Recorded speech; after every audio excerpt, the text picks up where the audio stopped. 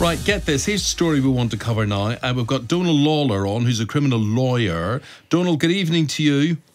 Good evening. Donal, um, the thing is, I've got in front of me here Home Office figures, and they're saying 7,300 foreign criminals, and this is a record number apparently, are living in freedom in the UK instead of de- being deported. How come, my friend?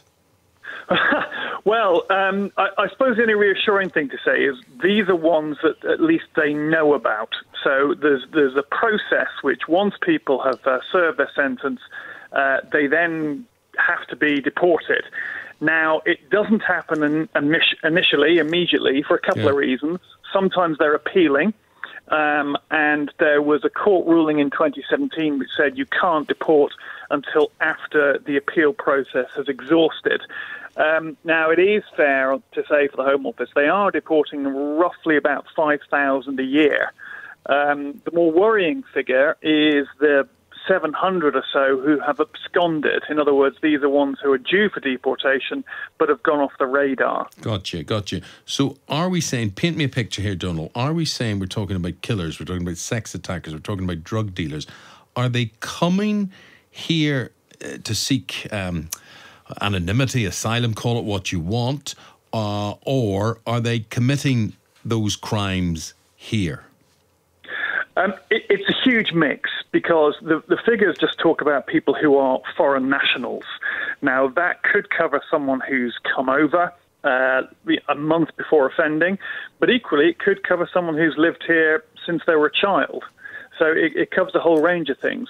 It also covers a whole range of offences because al- although there is um, a number uh, who have committed the most serious of offences, um, the legislation talks about uh, automatic deportation for anyone who's given a prison sentence of 12 months or more. So it, it can also cover relatively minor offences. How can any of these people even think about trying to claim asylum if they've. They have a good lawyer. Well, is, is that the case? Well, well the, the asylum issue is a, di- a, a, different issue. You do, of course, have people who are over here um, claiming asylum and then, whilst claiming asylum, commit an offence. Uh, that that is, of course, a subcategory. But the majority of these will be people, for example, who are uh, EU nationals or, or non-EU nationals who have who have been living here and have committed a crime whilst living here legitimately. So, so it covers a whole host of different type of things. The, I, I, um, from looking at the figures, the people who are over here seeking asylum and then committed an offence uh-huh. uh, seems to be a very, very small number but compared you, to the, to the you, others. You seem to think, however shocking these numbers appear, the Home Office are on the case here. Do you, or is this out of control? Um, well, they're out of they're on the case in so much as that they're certainly deporting some numbers. But I mean, the, the reports previously uh, into this have never made good reading. Um, there was a report in 2017. Uh, where the chief inspector of borders was saying that, that the Home Office was massively understaffed and were losing track of individuals. Um, so, uh, al- although they they are, de- you know, deporting mm-hmm. uh, several thousand every year, uh, it, it, would certainly be be be un, it wouldn't be right to say that we should be complacent about this, given that the figures appear to be on the up rather than on going okay. down. Donald, I would love to know your opinion on this story doing the rounds. This is breaking today. Uh, it's about a guy called Mo Chowdhury. He's 28 years of age. He's from Luton. Right. He, yeah. he's a former Uber driver. You know about this, yeah? Yeah, yeah. Now, here's the first thing, right? This guy, this guy planned to target tourist sites um, like Madame Tussauds, Piccadilly Circus, uh, the London Pride Parade, and um, yep. he was going to do this with a with a with a vehicle and run into people. He had a knife, he had a gun as well. He's fixated on the royal family, and before we even get here, so today's he's, he's put away, but before we got to this stage, he was cleared of launching a sword attack on police outside Buckingham Palace, right? He's now been found guilty of plotting these terror attacks.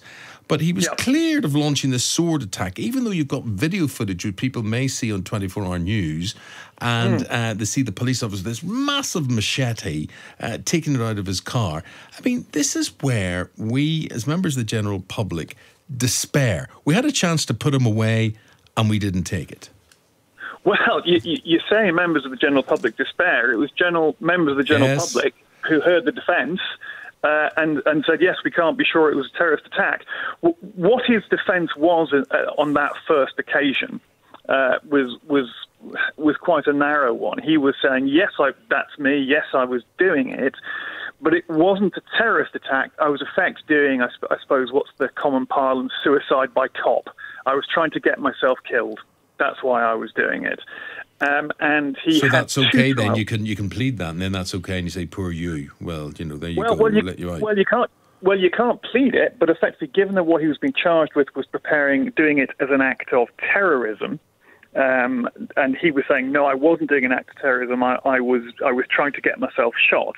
Now, on the first trial, it was a hung jury. Uh, the jury couldn't decide on that, and then on the second trial, uh, the jury you know, and again, we can never go behind and know what a jury's thinking.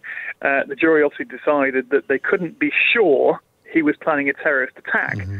Um, now, uh, I suppose what's reassuring, shall we say, about this, let's put it this way, is that whatever the verdict of the jury, um, the security services themselves didn't buy it, frankly um, and so had him under surveillance from day one of his release after his acquittal. Yeah. Um, and what, in fact, this whole um, thing for which he's now been uh, convicted was them posing um, as like-minded individuals uh, and basically getting him to drop the mask, frankly. Yeah. Um, so, al- al- although um, the, the jury process led to people not being sure, uh, tabs were kept on him such that, as I say, the mask fell, uh, uh and now he's been convicted of something that carries a maximum life sentence. Jackie, one of the things he was thinking about was launching an attack during the two minute silence on Remembrance Day. Yeah, and I mean, yeah. luckily in this instance, they did have tabs on him, so they could keep an eye on him, and mm. they,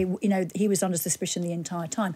What is so worrying is they can't do that with every single you know, suspicious individual who's released from prison, who says they are not radicalised anymore. You, you, just can't possibly keep tabs on everybody. Well, what was also um, uh, disturbing about some of the evidence that came forward this time was that he had himself been mocking uh, the so-called, as he said it, de-radicalisation programs that were that were currently in prison. Um, and whilst he was on remand for the first matters, the matter for which he was acquitted, um, he, of course, was um, with others um, of a radical nature. So, what one's got to, again, as we've been talking about many times, look at what programs are we making these individuals take in prison, because at some stage they are going to be released, um, and, and how do we have effective de radicalisation programs, or stop those who are too dangerous from, from being released before that's happened. I mean, can, can they keep tabs on you know, more people than they do? Um, well, they, they, they, the numbers, it's always difficult to say what the numbers are. They certainly, of those they believe are high risk, they do keep tabs on because, for example, we know that the individual who did the attack in Streatham um, was, was, of course, being kept tabs on as well. Um, so it, it's clear that the intelligence services do certainly have risk assessments and do, and do, take the steps where they think it necessary. But of course, you can't keep tabs on everybody. And as we know from the London Bridge attack, individuals can also deceive. People can seem and, and come across as being rehabilitated uh, when they're not. It's just so scary that there are people like this Mo Chowdhury out there